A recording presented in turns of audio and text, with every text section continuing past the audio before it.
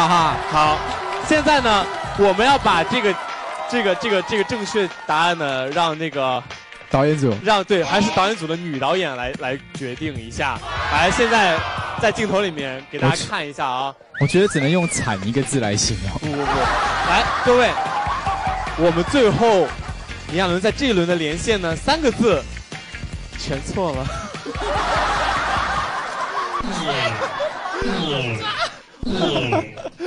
很气哎哎，这样的话，那个我们让导演组的女导演告诉我一下，我给大家先念一下我们正确的几个号，对吧？一号，一号是什么？一号是温柔枫叶色。啊？好好，一号是温柔枫叶色，二号是什么？二号是元气珊瑚粉。二号是元气珊瑚粉。我是色盲吗？我第一次对我的视力出现了问题。哎，三号是什么？三号是深玫红。来来，你过来，谁 谁就站出来上色。这个三号是什么？深玫红。深玫红。对，Really？OK。好，四号是什么？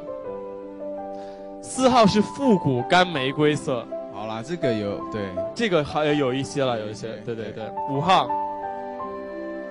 人气没红，哦，我现在都怀疑是不是他数字标签给标错。六号是什么？吸血鬼色。哇，吸血鬼的棺材板都摁不住了，你们知道吗？来，各位，给大家正式分辨一下。哎，但你觉得女生为什么需要这么多颜色？哦，这个就是纯粹一个商业的行为嘛。